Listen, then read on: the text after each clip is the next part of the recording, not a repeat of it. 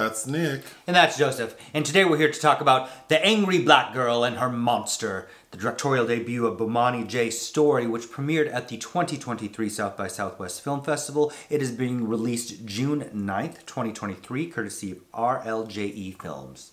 Directorial debut. Mm-hmm. I really like the title of this movie. Mm-hmm. Yes, very um, attention grabbing.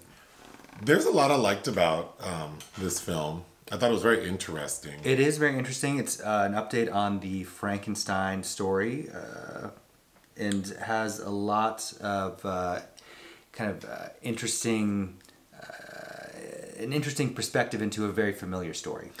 It tells the story of teenage anti hero Vicaria who is on a desperate quest to cure death. So, Vicaria is 17. We find out when she was eight years old, she witnessed her mother um, be shot and killed, mm-hmm. like while she's holding her, um, which of course traumatized her. We also find out that her mother was in medical school at the time. So we meet Vicaria as a 17 year old, and she's a freaking genius, obsessed with death.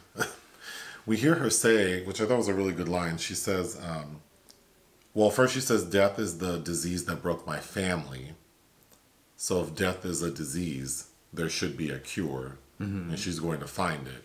And this is where Frankenstein comes in because this girl has been stealing bodies to get parts to try to reanimate her brother who was also killed. So it's important to know they live like in it's supposed to be like an impoverished area with a lot of crime. It doesn't look that bad. But, it doesn't. It looks pretty nice, but but but, but we guess this, we get the sense that that's where they are. So she, her brother has been killed in an act of violence as well, and she's trying to get, bring him back to life, and she does. She figures out that she's done a lot of things, but nothing has worked until it occurs to her that she needs a huge amount, a huge amount of electricity. She brings back to life this monster, and the bulk of the film is the monster wreaking havoc in this in these projects, kills a bunch of people, and then she realizes that the only way to kill him is to hit him with a surge of electricity again. She does. The monster's dead. But it's too late because the Chris has killed her father and uh, her other loved ones. They're calling the monster Chris because that was her brother's name. But yeah, the monster has killed a lot of people.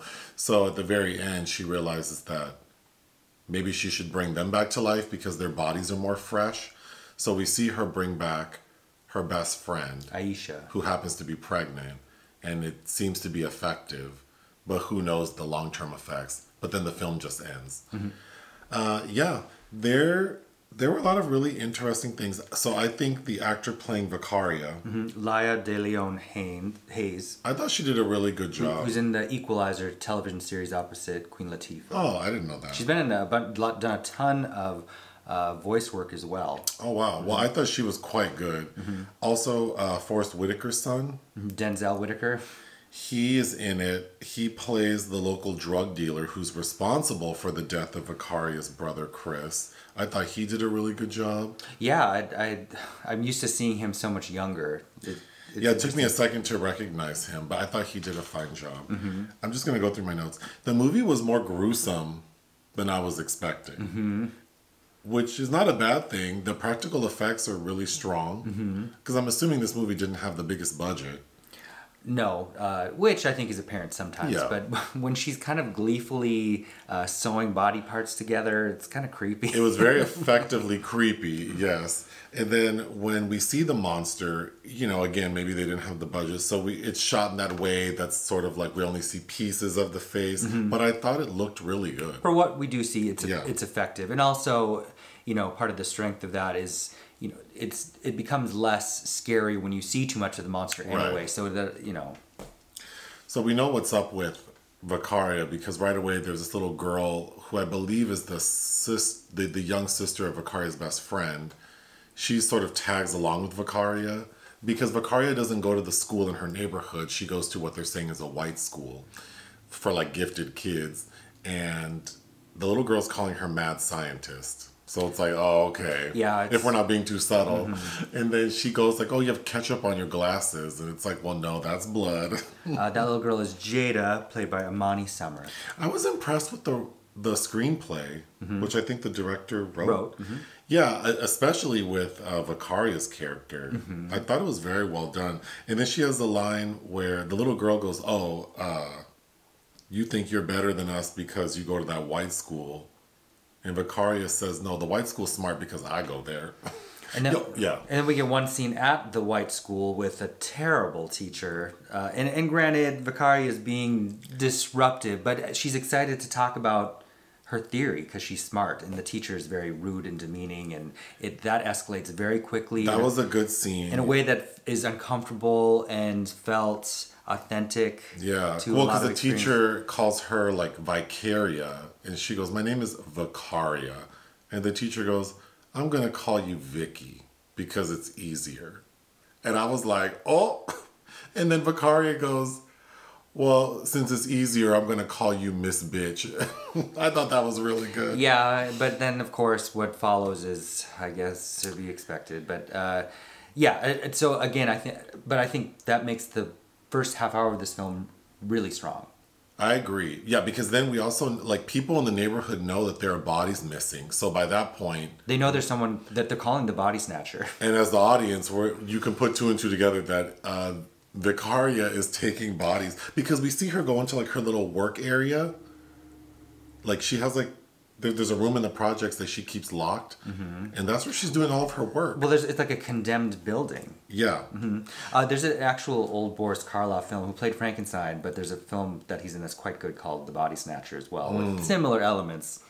I think because we were talking about like when you remake a story, like what is the purpose? Like like what are you going to do that's fresh? And I think this film does a really good job of bringing a fresh perspective to the story of Frankenstein, particularly like this young black girl living in this environment where there is like black on black crime, police brutality, the education system, like it, like it's bringing all of these things in a way that I think is very well done. Well, because what's the argument she gets in at the dinner table with Aisha? With that, that's pretty rapid fire because uh, again, uh, she believes that death is something that can be cured, so people don't really have to die. But then Aisha, who's uh, presented as a little bit more militant because she's trying to get her siblings to read uh, Malcolm Malcolm, X. X's autobiography rather than the, the bullshit about Christopher Columbus that would get stuffed down our throats, that fantasy fairy tale. Uh, but but saying that to live longer for what? To be part of this system that's going to continually oppress us. And I, I think that is really what's most interesting about this take on the material. Um, and then it, you know, it's Well, the dinner scene's interesting too because they turn it around because Aisha's mom says that death doesn't have to be so miserable.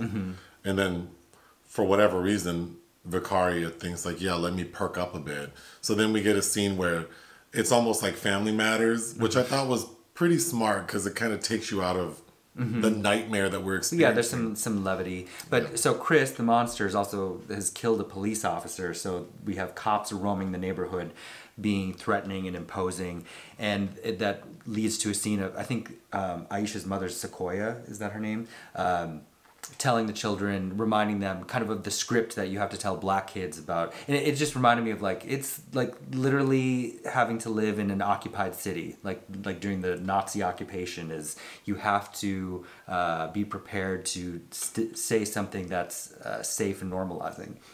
know when so the way Vicaria realizes that she needs a huge amount of electricity is because one of the little neighborhood boys gets shot and killed in a random act of violence And they're trying to resuscitate. Him. And they him. were try, attempting to resuscitate him with a defibrillator so that's when it clicks in her mind That's a really well good scene too because you can see him, him he's dying in front of our eyes, in front of her eyes, and they uh, every time they de- defibrillate him, he comes back for a second and they make eye contact, which I thought yeah i thought that was i mean it's again it's more disturbed like i was kind of disturbed but in a good way like i wasn't expecting this film to kind of have me like whoa What I didn't think worked as well is kind of how Jada, the young girl, is a kind of a conduit for Chris. And there's one scene that's almost like out of you know Thandiwe Newton in, in Beloved, where she's he's So I think the weak like the the biggest weakness of the film would be some of the acting,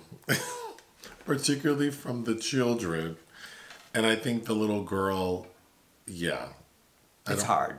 It's hard it's to. a little rough. It's a little rough, but um, the monster does end up killing the dad, like you said.